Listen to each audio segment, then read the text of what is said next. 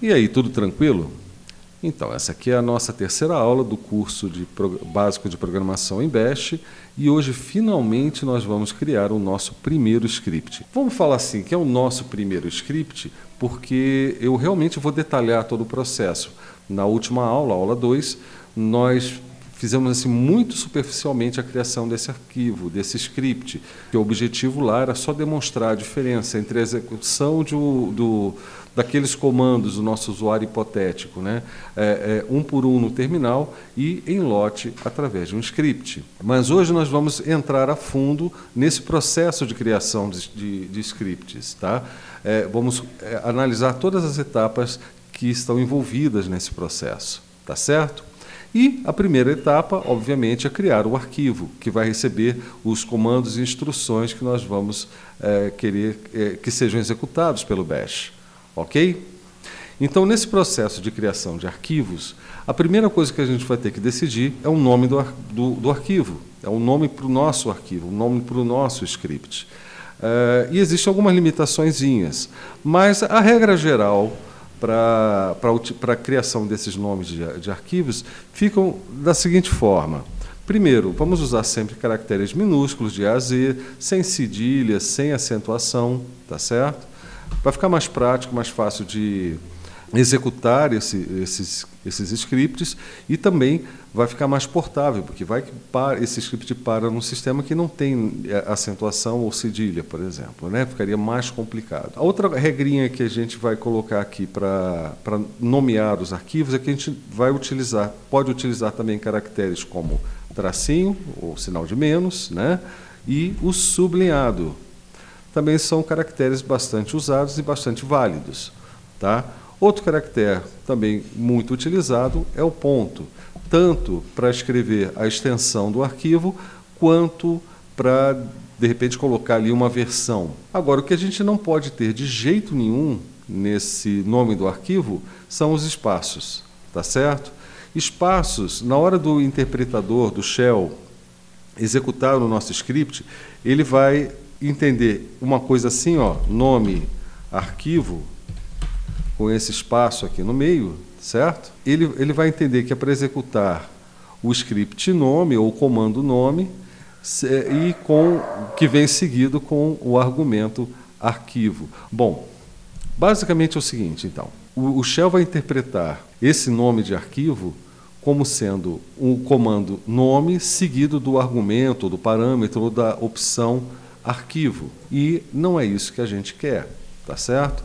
E também não é muito fácil criar nomes de arquivos com espaços no meio, nem lidar com eles de uma forma muito fácil. Eu vou fazer aqui só como exemplo, é, eu vou criar um arquivo, depois eu explico como é que eu estou fazendo esse processo de criação de arquivos, chamado nome, espaço, arquivo. Veja que dessa forma, se eu der um enter aqui, ó, ele vai dizer que arquivo não existe.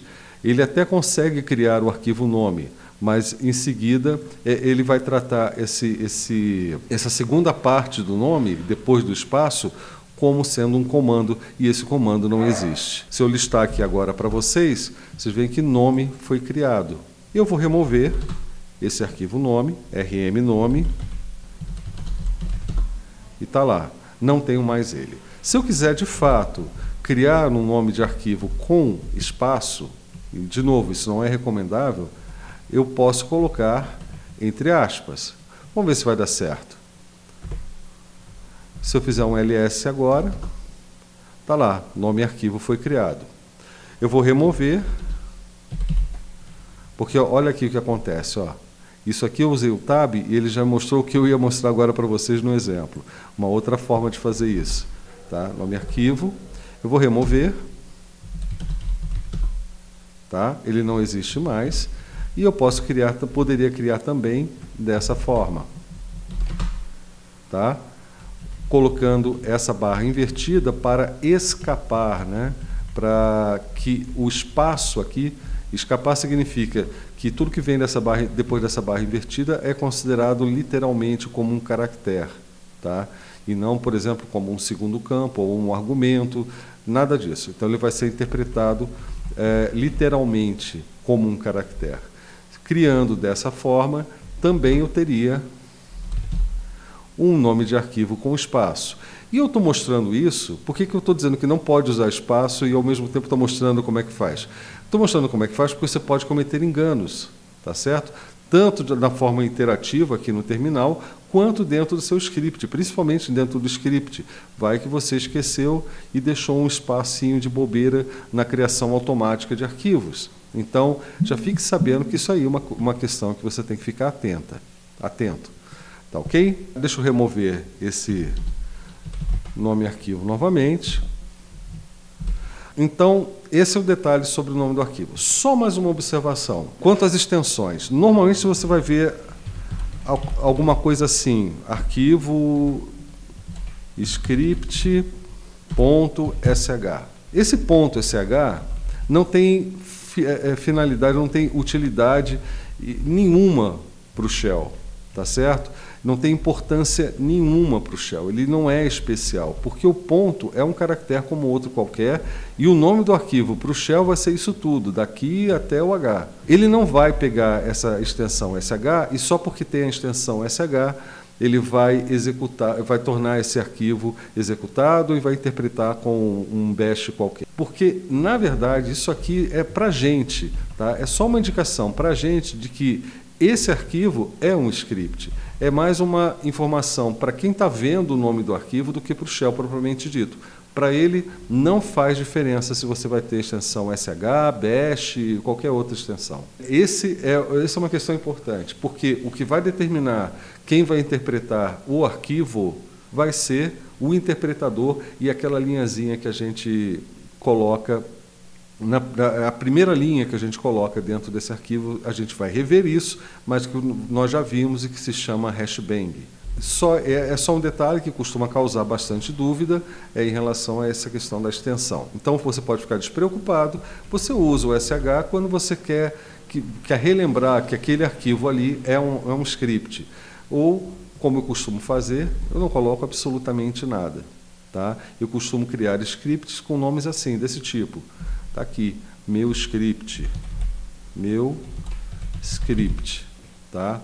Ou como nós vamos fazer hoje, né, repetindo aquele script da aula 2, a gente vai chamar o nosso script de infos. Ok? Muito bem. Isso aí era o que a gente tinha para dizer em relação ao nome do arquivo e a extensão. A próxima a questão é sobre, na criação de arquivos, é sobre o local onde esse arquivo vai ser criado. Lembre-se das nossas recomendações e, como vocês podem ver, eu estou seguindo aqui à risca o que nós eh, que nós colocamos na última aula. Para evitar de bagunçar o meu sistema, eu criei uma pasta de testes. Isso para estudar, para fazer demonstrações, certo? E para você eu recomendo fazer a mesma coisa. E ainda recomendo fazer mais. No caso, nós estamos na aula 3. Então, todos os scripts e experimentos que você fizer nessa aula, você já faz dentro de uma pasta aula 3. E é o que eu vou fazer aqui agora. Ó. mkdir aula 3. Tá? Vou botar até 03, porque nós vamos ter bastante aulas. Né? Posso até criar o nome da pasta assim. Aí eu vou para cd aula 3. Certo? É uma coisa bastante simples da gente fazer e mantém tudo organizado, ok? Mas não é só isso, essa não é só a preocupação. Quando você cria scripts que, que vão funcionar para apenas para efeito aqui de estudo, de teste, tudo bem usar desse jeito, você chama o script, como nós já vimos, usando essa ponto barra, dentro da própria pasta onde o script foi criado, né? o ponto quer dizer apenas que, que, se refere apenas ao diretório corrente, ao diretório atual, o diretório onde você está trabalhando, e a barrinha, evidentemente, é a mesma barrinha que a gente vê aqui, né? Dentro da pasta ponto, pasta corrente, isso aqui é só um símbolo de que é um diretório, tá certo? Então, a gente chamaria esse arquivo com ponto barra nome do script certo? Essa seria a forma de chamar. Mas se eu não estivesse aqui, se eu estivesse na minha pasta home, digamos que eu esteja lá na minha pasta home, o arquivo que eu estou criando está em testes aula 3, então, aqui, ó, a gente já falou que esse tio é a pasta home, é a mesma coisa que a pasta home. Aí vem testes, barra aula 3, nome do script. Tá? Por exemplo, tá? poderia ser qualquer outro caminho aqui. Uou! Entenderam essa ideia?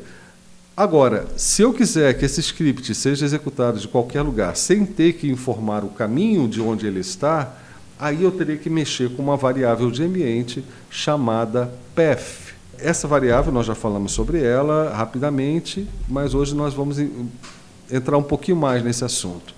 O sistema ele tem diversas variáveis que já vêm pré-configuradas, algumas você pode mexer, outras é, você não pode, e a PEF é, é, uma dessas que você pode até mexer e personalizar e customizar para o seu caso de uso. Né? Você pode configurar o seu PEF. O que, que é o PEF afinal? Eu vou usar o comando echo, que é o comando que exibe as informações aqui eh, na tela, né? e para ver o que, que tem dentro dessa variável de, de ambiente PEF. Está aqui. Observe, user local, local bin. Isso aqui é uma pasta. Tá? É uma pasta onde ficam alguns executáveis. Que, e, e, essa pasta tem executáveis que ficam disponíveis para todos os usuários do sistema e não apenas o usuário, eh, o seu usuário. A mesma coisa a pasta user bin, a pasta barra bin, a pasta user local games, tá? pasta user games. Tá? São pastas que estão definidas no caminho, path é caminho, né? e que estão disponíveis para todos os usuários. São caminhos globais de executáveis. Já esse, esse caminho aqui, que está por último, está na minha pasta pessoal, home GDA. Tá? Depois vem ponto local barra bin. Tá? Essa pasta está na minha pasta pessoal, está na, na minha home. E fui eu mesmo que modifiquei essa variável path para incluir esse caminho. Como é que a gente faz isso? Bom, basicamente, a gente reescreve o path. Tá? O nome é path e eu atribuo a esse nome o valor do próprio path que já existe, mais dois pontos, que é o separador que vocês estão vendo aqui, ó, separador, e um novo caminho. Digamos que eu queira incluir nesse caminho a pasta que não existe ainda, uma pasta local na minha home chamada bin, tá? Ou uma pasta na minha home chamada scripts, certo? Eu vou colocar aqui a pasta bin, que não existe ainda, eu vou criar só para poder demonstrar para vocês, tá? Fiz essa atribuição.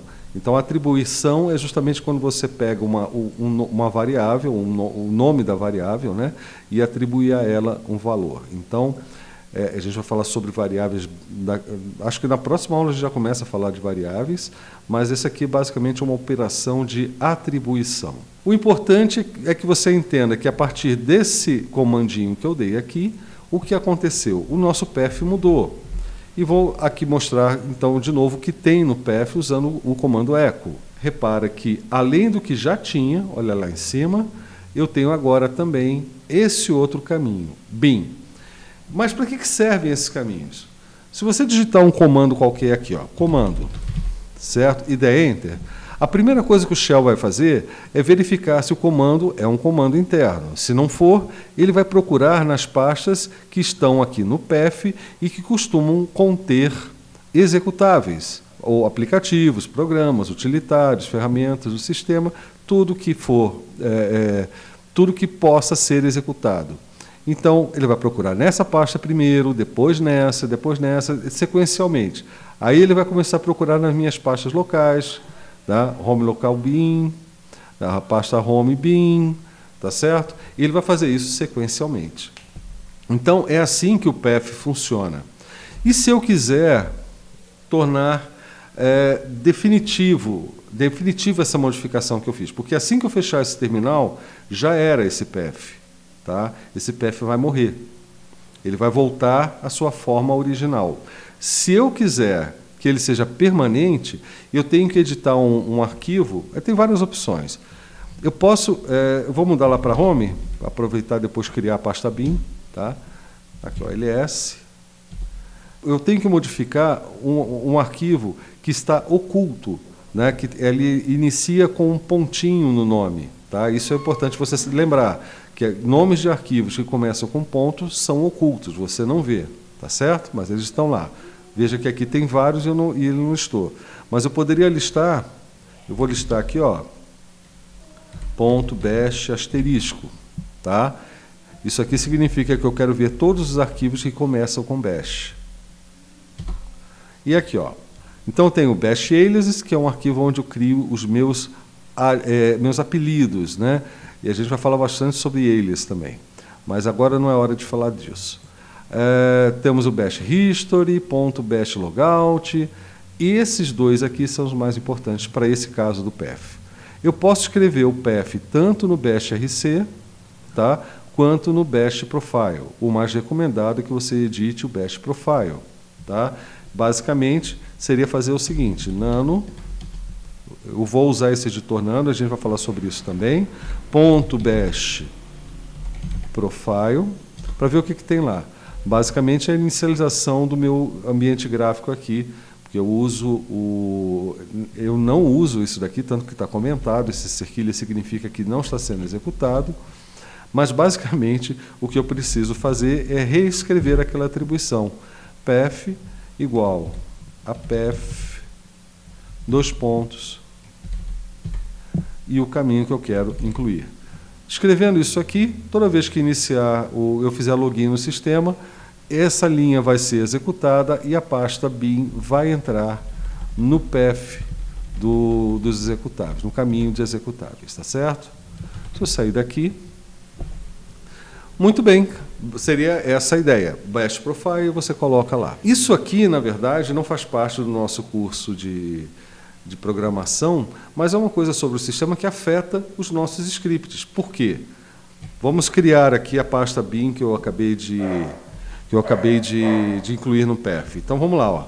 mkdir bin. Eu já estou na minha pasta home, tá? Observem isso. Por isso que eu estou usando o comando simplesmente mkdir bin. Se eu entrar na pasta bin, ela está vazia, porque acabou de ser criada, e eu criar um arquivo, é, vamos chamar esse arquivo de banana, tá? E depois de criar esse arquivo banana, eu vou mudar a permissão dele para que ele seja executável. Tá? Banana. Criou banana e depois chmod mais x banana ls menos LA, eu tenho ali banana, que é um executável. Eu sei que é executável porque eu estou vendo aqui o comecinho dessa informação tem um monte de x, x significa executável. R significa que tem permissão de leitura, W significa que tem permissão de escrita, e X significa que tem permissão de execução. Tá? Também é assunto de hoje, a gente vai voltar nesse ponto.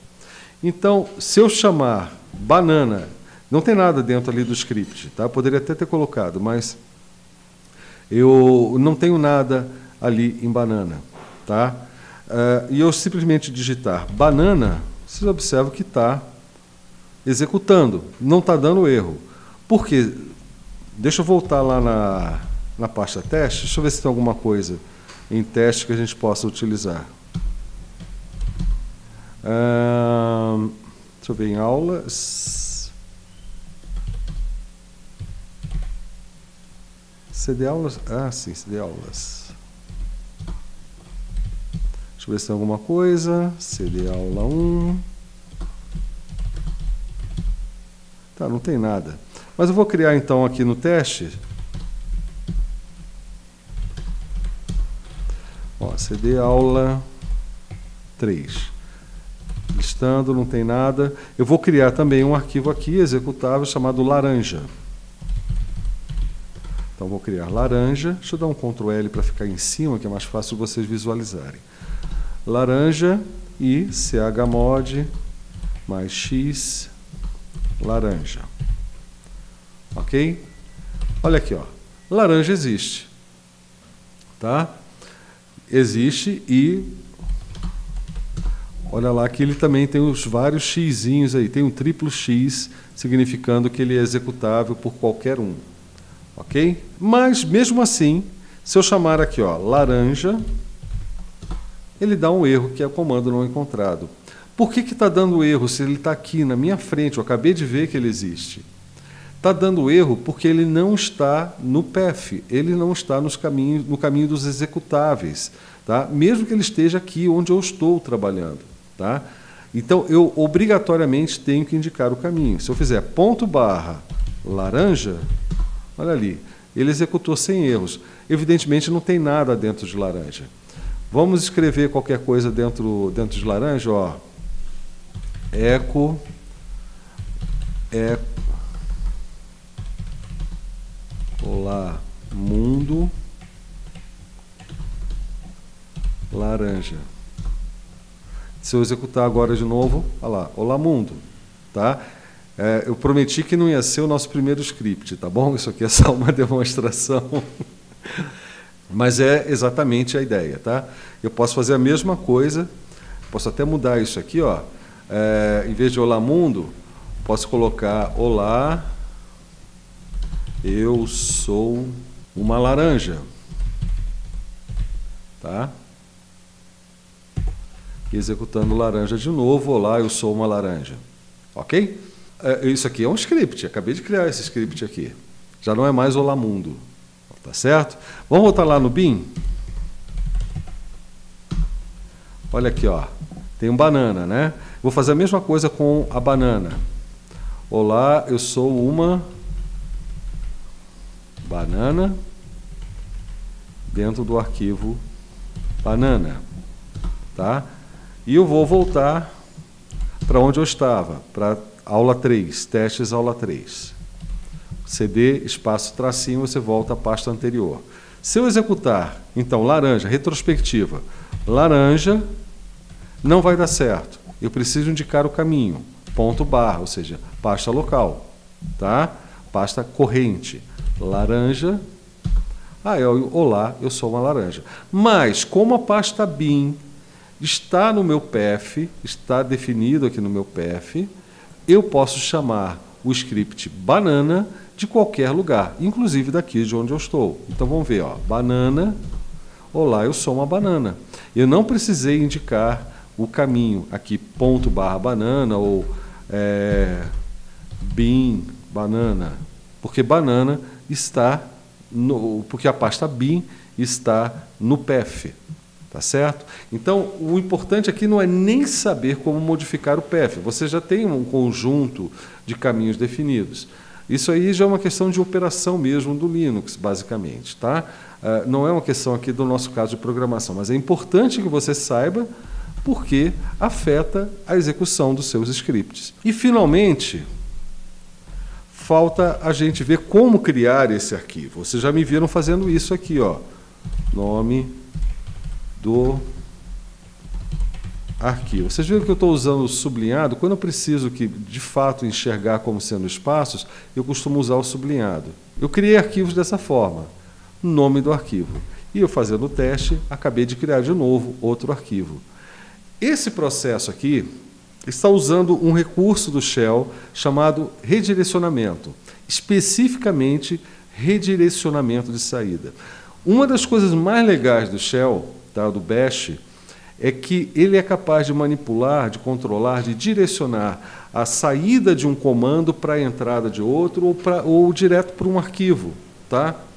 E é isso que esse sinalzinho de maior faz. Ele vai redirecionar a saída desse comando que tiver aqui antes para o arquivo que estiver depois, depois de, de, é, de, depois dele. Tá certo? Isso aqui é muito legal. Tá? Isso é, uma, é, é um recurso interno do próprio Shell. Portanto, o tempo que demanda para fazer essa operação é praticamente zero. Tá? O tempo aqui, isso aqui é para criar um arquivo não é nada, tanto faz o método que você vai escolher para fazer isso.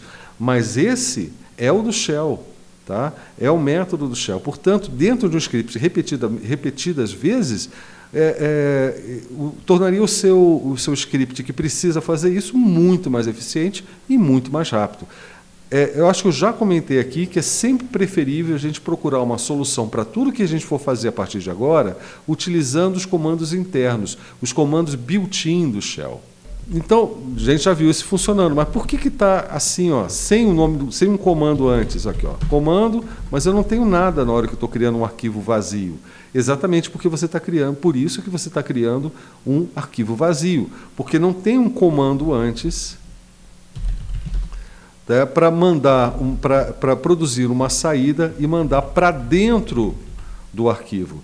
A questão aqui é esse redirecionamento ele vai redirecionar para um arquivo, para o conteúdo de um arquivo. O nome, vamos dizer assim, é o destinatário do conteúdo. Quem é o conteúdo? É a saída desse comando. Tá? Como não tem um comando nenhum, a saída que ele está tentando mandar para dentro do arquivo é zero, é nada. Tá? Por isso que o arquivo é criado completamente vazio. E vocês me viram utilizando isso aqui, tá? Eu, eu, imaginei que alguém fosse perguntar, mas acho que não dá para ouvir daqui, que eu usei exatamente isso. Veja bem, esse comando echo olá mundo, que eu estou dando aqui, ó, esse comando echo, eu estou mandando ele escrever dentro do script da, do arquivo laranja esse texto, echo olá mundo, que também é um comando. Né? Se a gente chegar aqui agora é, e, e, e, e, editar esse arquivo laranja, ó, nano laranja. Olha lá. Ele escreveu dentro do arquivo laranja essa frase aqui, eco olá mundo. Só que essa frase é um comando e o, um texto. Tá? O eco faz isso. O eco pega, ah, pega o, o, texto que tem depois dele tá? e escreve na saída também. Quem é a saída aqui no caso? A saída é o próprio terminal, que você vê aparecer no terminal. Tá certo? Deixa eu sair daqui. Tá? Então, entenderam a ideia? Esse redirecionamento de saída. Repare que só esse primeiro eco é o comando que está redirecionando para o arquivo banana. Tá? Esse símbolo, repetindo, escreve a saída do comando anterior num arquivo. Tá certo? Existem outros recursos para mandar as saídas para outros é, outros locais, para outros destinos. Por enquanto, basta a gente aprender a escrever alguma coisa no arquivo e, principalmente, criar um arquivo vazio, porque é o primeiro passo da criação do script. Então, deixa eu dar um ls aqui, vou remover tudo isso, rm asterisco, remove todos os arquivos da minha pasta corrente, e está lá, não tenho mais nada porque o nosso objetivo aqui é o, o, o script infos, que nós começamos a ver na aula passada. Então, vamos criar novamente infos, agora sabendo todos os detalhes que nós estamos numa pasta que não está no caminho dos executáveis do sistema, é, que é uma pasta que, que a gente criou só para fazer testes, para não bagunçar o nosso sistema, que agora a gente sabe que isso aqui é um redirecionamento de saída para arquivos, então a gente agora esse simples comando já trouxe para a gente uma série de informações que ficaram faltando e a gente está fazendo a coisa de forma consciente. Tá legal? Tá aqui, arquivo infos foi criado. Bom, segunda etapa de criação de um script é a edição do próprio arquivo. E o que, que você usa para editar o arquivo? Veja bem, o, o, nós já falamos que o script nada mais é do que um arquivo de texto, é, que um texto puro, ou raw text, né, texto sem formatação. Ele você não vai fazer, por exemplo, dentro de um programa como o, o LibreOffice Writer, tá? Você vai fazer scripts usando normalmente aqueles editores que já são dedicados até para programação ou aqueles blocos de notas, né, chamados blocos de notas. Tem o Mousepad, tem o Pluma, é, Gedit, o Dini, que é o meu favorito né, em termos de interface gráfica. Né? É, se for apenas no terminal, nós temos o Nano, o Vim, o, acho que tem agora o, o Nelvin, né? Eu não, eu não, me lembro agora, deu um branco sobre o nome do Nelvin, mas eu acho que é esse mesmo que é um vinho mais moderno. É, enfim, tem, tem, opção que não falta. Inclusive nenhuma, né? nenhum editor, porque nós fizemos aqui a criação de um script, basicamente com um comando do terminal. Eu escrevi texto dentro da, da, do arquivo banana e laranja, sem precisar usar um editor. mas é óbvio que isso não é muito prático.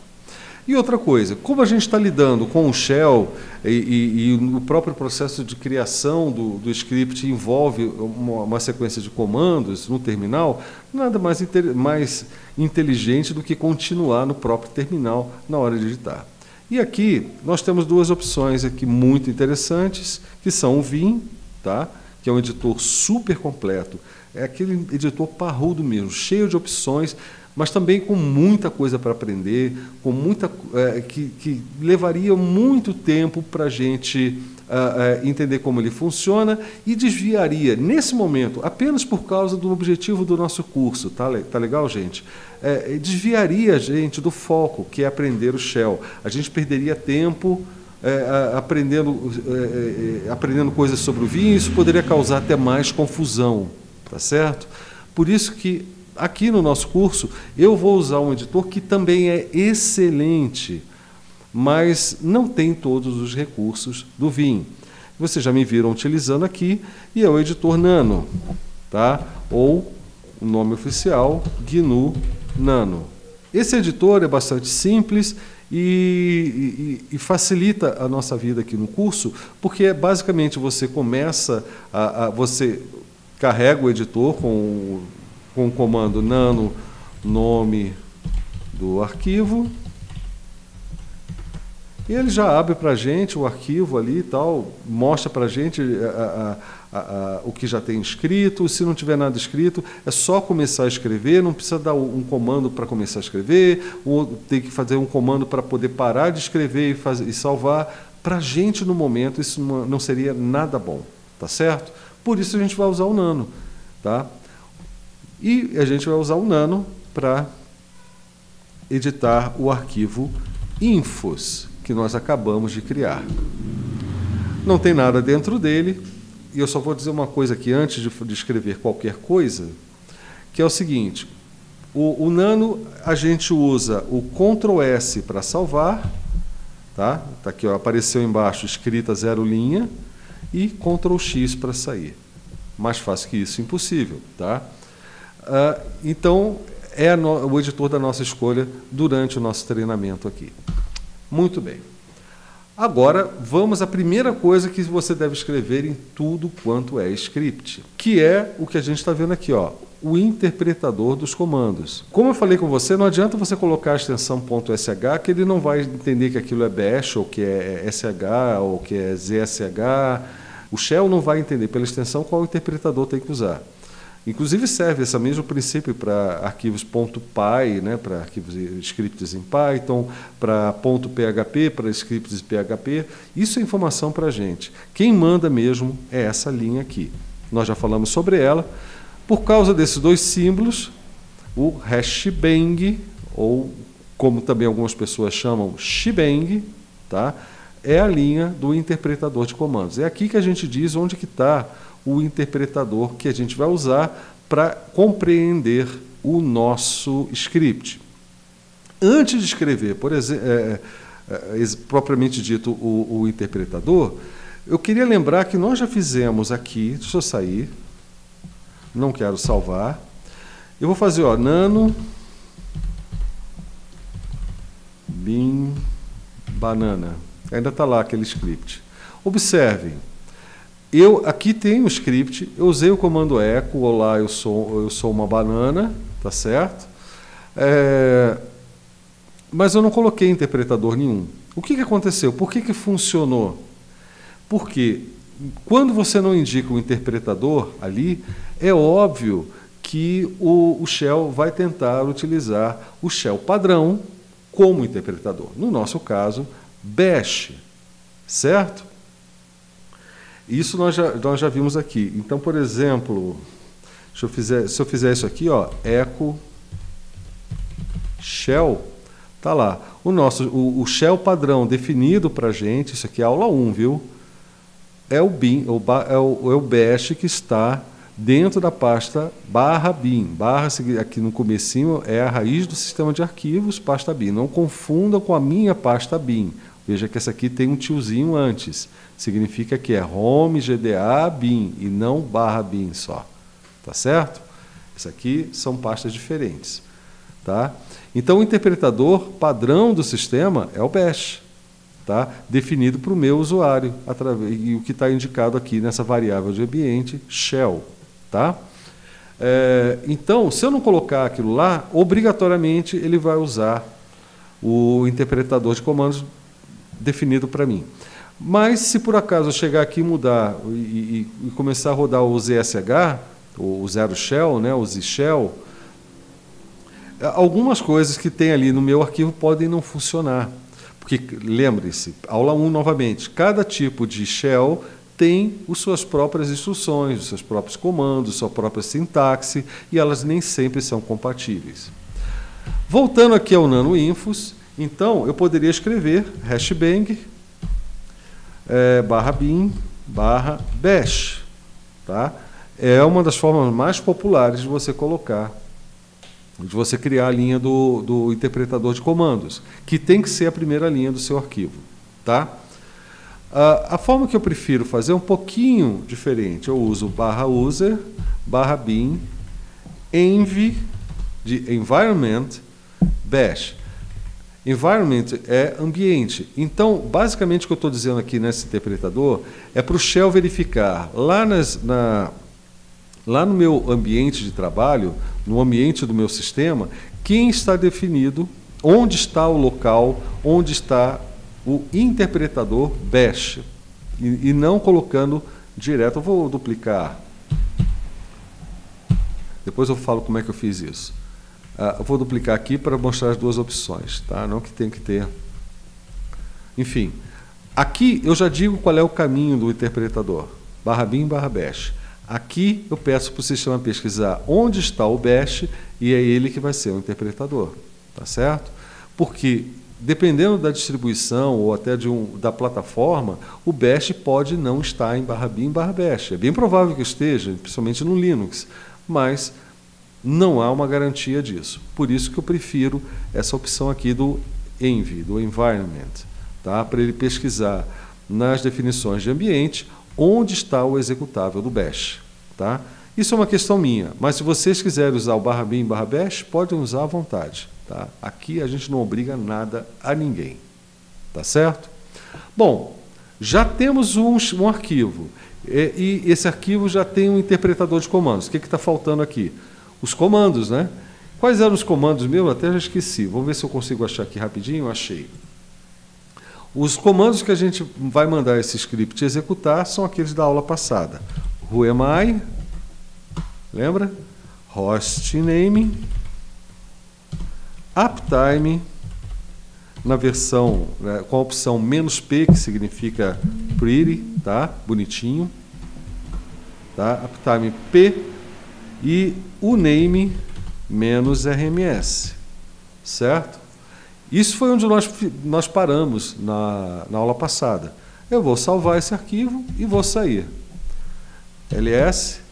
Qual é o problema aqui agora? O que está faltando para esse arquivo aqui funcionar como script? Vou fazer um ls um pouquinho mais completo. Né? E observa aqui, ó, eu só tenho rw, R. Lembrando que R é leitura, o write é W é escrita, misturando inglês com português, e não tem nenhum X de executável, como nós já vimos antes. Tá? Então, significa que esse arquivo aqui, apesar de ter todo o conteúdo de, de um script, ele não é executável. Se eu fizer ponto barra infos, vai ver que nem autocompleta e está dizendo que é permissão negada. Por que permissão? Porque justamente a gente está tratando de, dos atributos de permissão do arquivo.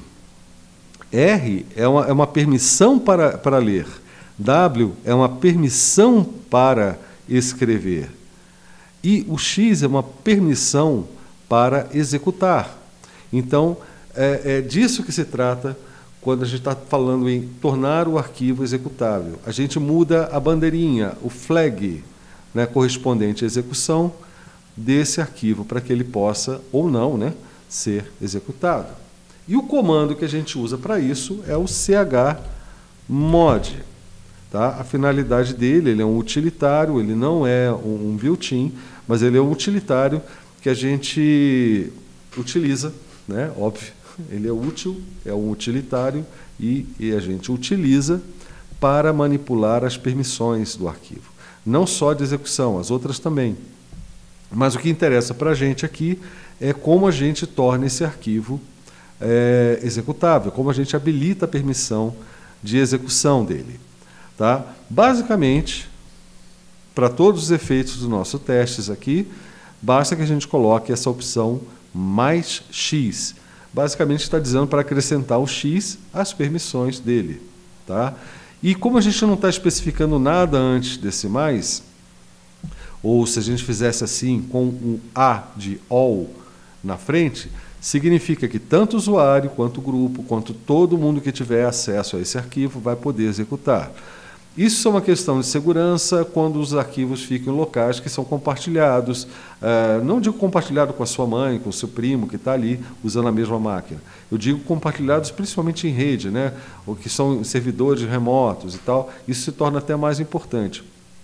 Mas para a sua própria máquina, onde só tem você utilizando, é, deixar executável para todo mundo não faz muita diferença. Se você quiser um pouquinho mais de segurança, você está imaginando que um hacker vai invadir a sua máquina, você coloca o U, porque aí só o dono pode executar. Tá? U vem de user, né? mas no caso é um user especial, é o user que é o dono daquele arquivo, tá? é o owner. Tá? E, finalmente, o nome do arquivo, que no caso nosso é infos. Mostrando agora como ficou o ls menos l, ó. Agora, eu tenho triplo X aqui novamente, ó, 3X. Tá? Para o usuário, para o grupo e para todo mundo. Tá? E a mesma coisa que, como repetindo aqui, esse comando assim é a mesma coisa de colocar um A na frente, porque A significa all. Mas se eu quiser só para o meu usuário, só para o dono do arquivo, no caso sou eu mesmo, por isso que é U de usuário, tá? e fazendo de novo um LSL, repara. Opa! A, a gente primeiro vai ter que fazer isso aqui. Eu esqueci de fazer antes. Ó. Da mesma forma que eu coloco, eu tiro o flag. Tá? ls-l, deixa eu botar lá para cima, para a gente enxergar melhor. Está lá, não tem x nenhum. Agora eu vou colocar o usuário mais x. Pronto, ls menos l, pronto. Agora só o usuário, o dono do arquivo, tem permissão para executar. Tá certo? Aliás, essa aqui é uma forma de você ver é, se o seu arquivo ele é executável ou não. Tá? É uma forma simples, mas isso aqui não serve muito para a gente se a gente quiser utilizar essa informação de se o arquivo é executável ou não dentro de um script. E já para colocar coisas para vocês irem pensando, para vocês irem ter ideia, tendo ideias, deixa eu limpar aqui, eu vou mostrar como é que a gente faz isso no jeito do shell. Tá? Existe um comando interno, um, um built-in chamado test, tá? que tem várias opções de teste. Ele testa várias coisas. Tá? Uma delas é se o arquivo é executável. Menos x, tá? essa opção x e o nome do arquivo. Vamos pegar o arquivo que nós estamos fazendo agora, que é o infos, certo? Aí se eu der o teste x infos, não me mostrou nada. Aí é que você se engana. Eu vou criar um novo arquivo aqui, ó. Vou criar, vou criar um arquivo de novo, laranja, né? Porque banana já está lá no bin. Ó, o ls. Eu tenho dois arquivos, infos que eu sei que é executável e laranja que eu sei que não é executável porque eu não fiz o chmod dele, tá? Se eu fizer teste menos x laranja, também não me retorna nada. Aí é que entra a grande sacada, uma das coisas mais legais que tem no Shell, que são algumas variáveis especiais. Nós já vimos algumas, por exemplo, a, aquele cifrão zero, zero né? É, que mostra o nome do arquivo, o cifrão 1, que a gente vai usar muito, cifrão 2, cifrão 3, e tem o cifrão interrogação. Tá? Esse cifrão interrogação é a grande sacada para a gente aqui, que vai ajudar muito a gente no futuro nos scripts. É só para você respirar e entender do que eu estou falando, a gente está verificando formas de checar se o arquivo está como executável ou não, do jeito do shell, tá? Então vamos fazer o seguinte: o que, que tem dentro desse cifrão interrogação que o que o professor Júlio Neves chama de dólar interroga, tá? O que, que tem dentro do dólar interroga?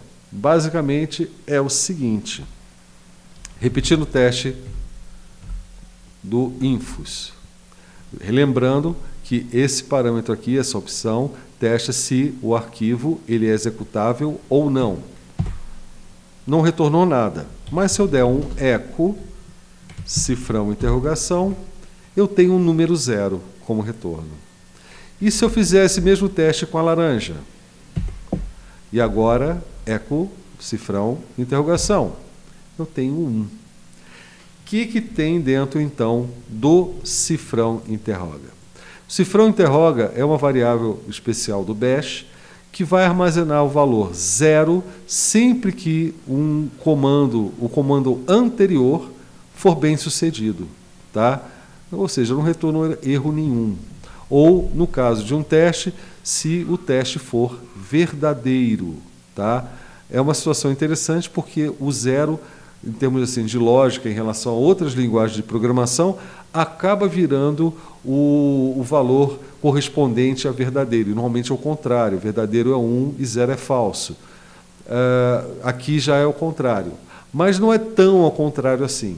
Porque no caso do teste dar um erro, ou do, do comando executado dar um erro, é, esse cifrão interrogação, ele não vai dar sempre um, ele vai dar qualquer número diferente de zero. Tá? Então, zero é uma condição especial de sucesso. Ah, o, o, no caso de, de, erros ou de falso, ele vai retornar um, um número qualquer diferente de zero. Então, a gente pode fazer isso até de uma, numa linha só. Eu posso colocar aqui ponto e vírgula. Isso aqui é como se eu estivesse executando esse. Depois que eu terminar de executar isso aqui, eu quero que ele faça o eco do cifrão interrogação. O dólar interroga. Tá? Então, veja bem. Está lá. Teste laranja, retornou 1. Se eu fizer com um teste de infos, ele me retorna zero. E assim eu sei se o arquivo ele é executável ou não do jeito do shell. Tá? E o teste é um dos comandos mais legais, um dos comandos que eu mais gosto, porque é, o, é, é a maior mão da roda que existe é, para programação. Tá? Porque ele tem, ele tem teste para tudo. Isso aqui é só um, entre dezenas de testes. E ele pode ser escrito dessa forma. Tá? É, isso aqui é o comando teste, é só uma outra forma de representar. Essa forma aqui é válida e essa aqui é uma outra forma de representar. E ainda nas versões mais recentes do Bash, agora a gente pode usar assim também, ou desculpa, tá? que permite que a gente faça testes incluindo expressões regulares. Tá? Então, é, eu pessoalmente até já costumo deixar com duas barrinhas mesmo por padrão, mas eu só preciso de fato disso aqui quando eu preciso desses recursos especiais do comando teste. Tá? No caso, uma expressão regular ou algo do tipo. Tá certo? É, vamos testar aqui rapidinho? Tá lá, retornou zero do mesmo jeito. E se eu fizer com o arquivo laranja, Beleza, retornou um número qualquer diferente de zero. Tá? É, isso aqui, se prepara, porque isso aqui vai ser o coração de muitos dos nossos scripts. Lembre-se que a gente não está aqui para simplesmente poder executar comandos em lote, como nesse exemplo que a gente está vendo agora. Deixa eu fazer um nano aqui novamente.